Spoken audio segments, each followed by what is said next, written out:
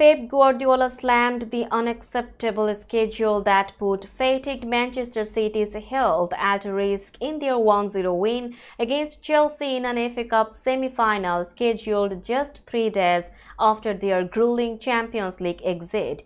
Guardiola was furious that the Football Association and television broadcasters set City's semi-final for Saturday instead of giving them an extra day to recover after Wednesday's penalty shootout loss to Real Madrid in the Champions League quarter-finals. Exhausted City were fortunate to survive a series of Chelsea misses at Wembley before Bernardo Silva's 84th minute winner atoned for his penalty blunder in the shootout against Real. Guardiola took aim at the authorities for putting his players' futures in danger when they could have played Manchester United's semi-final against Coventry on Saturday instead of Sunday because neither club was in European action this week. Guardiola insisted he would not speak to the sports governing bodies about his complaint because he is convinced they will not listen to him.